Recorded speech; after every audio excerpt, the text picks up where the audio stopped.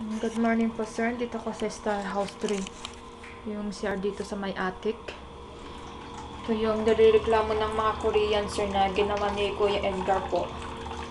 Ah, bakit mahina yung tubig? Ang ilang beses nang sinabi sa kanya sir. Pero hindi po niya binabalikan. Ayaw namang gawin nila Kuya Al tsaka ni Kuya Dundun sir. Kasi baka sabihin daw na sinira po nila. Ito yung pinalitan nila Kuya Edgar po noon.